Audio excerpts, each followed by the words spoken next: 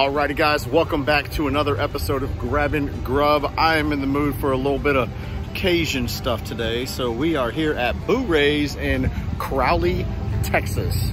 I got a couple locations in the Fort Worth area. This one is in Crowley. I think it's officially like Boo Ray's of New Orleans or something. But anyways, let's go in and check it out.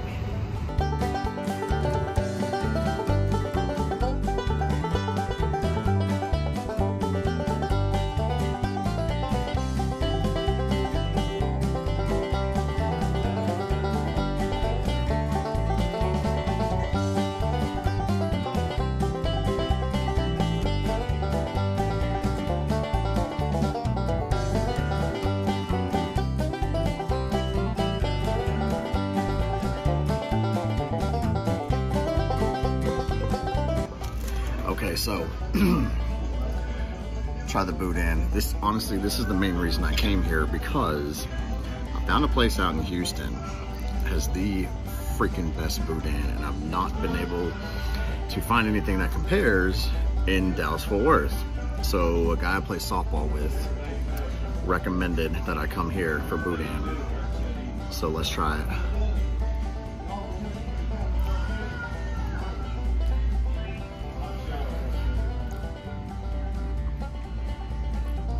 I'm not gonna lie, that's just as good.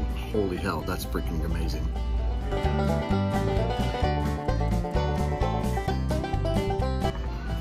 All right, let's keep the party train rolling here. The boudin was freaking amazing. We're gonna try the andouille sausage with some beans and rice.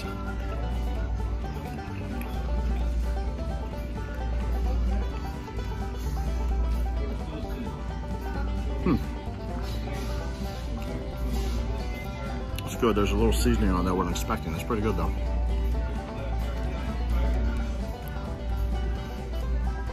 Hmm, not bad.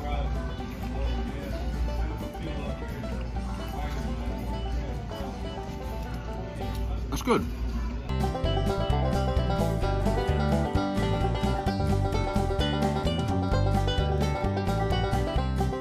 Final item here, we got the blackened tilapia with some dirty rice. I like tilapia, blackened. Mm, that was hot.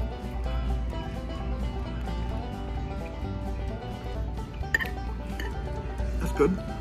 That's good. Let's try the rice.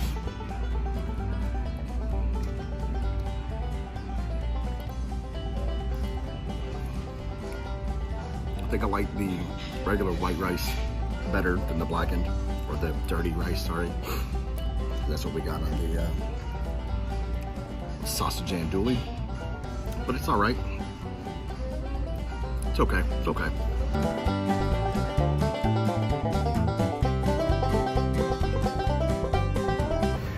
Okay guys, final thoughts here on Boo Ray's. I'm not gonna lie, I really enjoyed it. I really did enjoy it. For me, the boudin was top notch. Again, I've been chasing that that same taste, that same quality as the restaurant out in Houston that I like to go to when I'm out there. And I finally found one that has boudin that's like, it's up there. The sausage andouille was actually really good too. The right amount of spice. There's an extra seasoning on there. Couldn't quite put my finger on it, some kind of Cajun seasoning or something, but it worked. I liked it. And not that this is any kind of standard or measure of standard or anything like that, but if you've ever been to Razoo's and you like the sausage and andouille there, you will enjoy it here at Boo Ray's as well. On to the blackened tilapia. The fish itself was good. It was just extremely salty. There was too much too much salt in there. Just, you know, lay off that just a little bit if you can. I didn't really dig the dirty rice too, too much. So taking all of that into consideration, I'm going to give Boo Ray's a solid eight and a half.